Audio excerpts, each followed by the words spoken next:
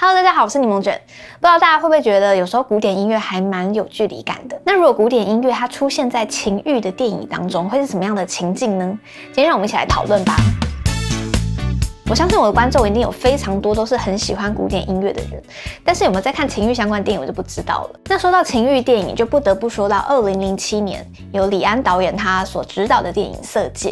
那这部电影在当时不仅造成了轰动，而且它还赢得了第四十四届金马奖的多项大奖。不过，好像很多人提到《色戒》的时候，他们都会用一种有色的眼光来看待这部电影。毕竟它里面的性爱场景的拍摄手法有点太过真实，所以很多观众都怀疑说，梁朝伟跟汤唯他们是不是假戏真做？像我以前看的时候，我就觉得好像在看什么见不得人的电影这样子，只敢偷看，不敢跟别人讨论。那当然，这样子的拍法其实是很吸睛，而且也很有话题性。但是如果只有把它当成色情片来看的话，就太可惜了。因为这部电影它的拍摄手法跟对白都是非常细腻的，而且配乐家 Alexander Desplat 他在这一部片呢放入了布拉姆斯的 A 大调间奏曲，那也让这部电影的配乐呢有一种画龙点睛的感觉。怎么说呢？那我就先从故事的背景开始说起。那这部电影呢，它是以第二次世界大战抗日战争期间的上海跟香港为背景。那有一个女特务王佳芝，她色诱汉奸易先生，让他们的同伴呢可以伺机而动。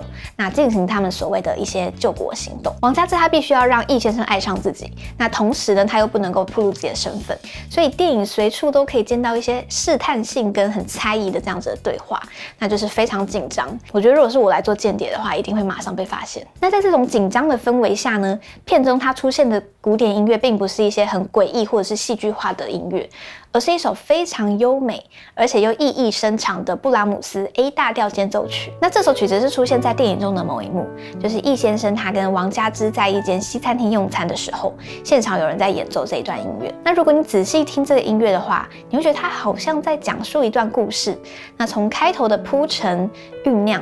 到中间的转折，然后结尾呢是一个很无奈跟放下的感觉。那这样的起承转合，如果是说是他们两个的故事，好像也不为过。他们两个是一个不能够被说破的关系，谁也不能够开诚布公的在对方面前坦诚。然而他们无法抗拒这种致命的吸引力，宁可铤而走险，也不愿意错过彼此。那王家师他一开始也在演戏嘛，然后对伙伴很忠诚，但是到最后的时候，他自己真正的投入，而且展露了一颗赤裸裸的真心，也因此让这次的卧底计划彻底的失败。那王家师他最后被处决了，就留下易先生他独自的无语跟失落。这种快乐跟痛苦交织的这种回忆，就好像永远不能够被提起的感觉。随着音乐的结束，这一段沉痛的记忆只能随着时间淡忘。这部电影它虽然是改编自张爱玲的小说，但是它的内容其实是有一些历史真实事件的投射性这样子。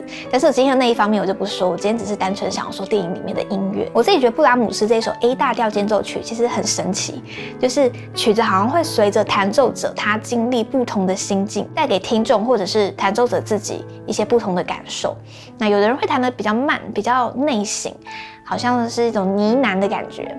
那有些人会弹得比较明快，比较柔美。这首曲子是布拉姆斯他在一八九三年所写的曲子。那这时候布拉姆斯已经六十岁。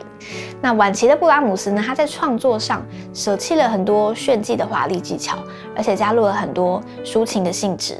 那看似是很简单的旋律线条，其实呢里面都藏有一些其他的旋律在这些内声部当中，那会让这一首曲子的情感能够层层堆叠，有一种既是温柔又是热情的情感不言而喻。我记得我以前在弹这一首曲子的时候，我的老师一直跟我说，这是一首很内敛、内心，好像是很多内心戏的一首曲子。我一直被老师说我太年轻了，我就很努力想要弹出老师说的那种很内敛的感觉。所以弹奏者在弹奏的时候，不妨就是可以揣摩看看当时在谱曲的布拉姆斯，他的。心情有什么样的大风大浪，他是没有见过的。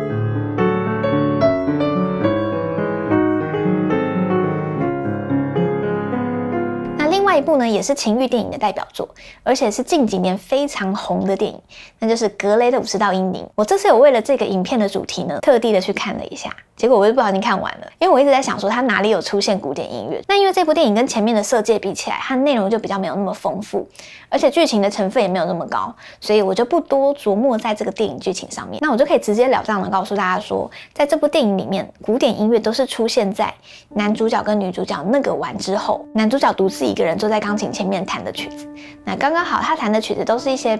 悲伤的曲子。第一次他弹的是巴哈的键盘协奏曲 BWV 九七四的第二乐章，这是改编自 Marcello 的 D 小调双簧管协奏曲的第二乐章慢版。可能大家对 Marcello 比较没有特别的印象，那 Marcello 跟巴哈他们都是巴洛克时期的作曲家，他的背景其实还蛮厉害的，他是一个有钱有闲的意大利贵族作曲家，但是他作品呢比较没有那么有名，其中最有名的大概就是这一首 D 小调双簧管协奏曲了。巴哈他也是一个很喜欢 cover 别人作品的一个作曲家，他最喜欢把别人的协奏曲呢改成钢琴独奏曲。在他的 Weimar Concerto Transcription 作品当中，里面大部分的作品都是他改编自威瓦第、Marcello 这些意大利作曲家的作品，那当然也包含我们今天讲的 BWV 九七四。另外一首出现在格雷的五十道阴影中的古典音乐，是肖邦的二十四首前奏曲中的第四首。这首曲子呢，我在上一部平易近人的肖邦钢琴作品当中有提过哦。不知道大家听这首的时候，会不会有一种很绝望，然后几乎窒息的感觉？搭配在电影的这个桥段呢，可能是暗指男主角他有一种内心非常深沉的痛苦，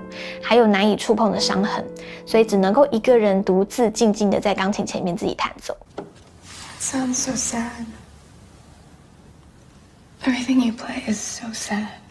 那值得一提的是，作者他有出一张 original soundtrack，里面有收录了作者他在写《格雷五十道阴影》的这本书的时候，深受启发的十五首古典音乐。他希望让比较没有兴趣看电影的人呢，也许会因为喜欢古典音乐而聆听。不过我倒是还蛮好奇，为什么作者他听了这十五首会深受启发，写出《格雷的五十道阴影》这本书就是了。以上就是两部情欲电影中的古典音乐这部影片。那我不知道这些古典音乐出现在情欲电影中的时候，是给你什么样子的感觉？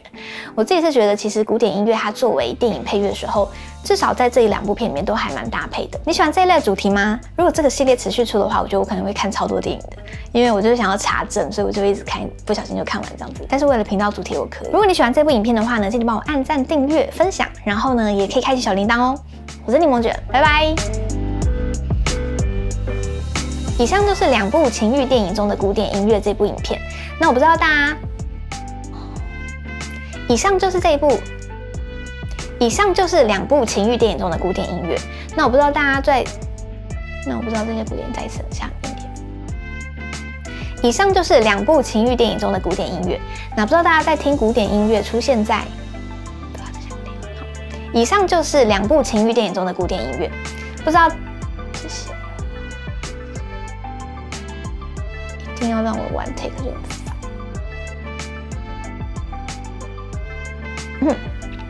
以上就是两部情欲电影中的古典音乐。那不知道大家在不知道这些古典音乐？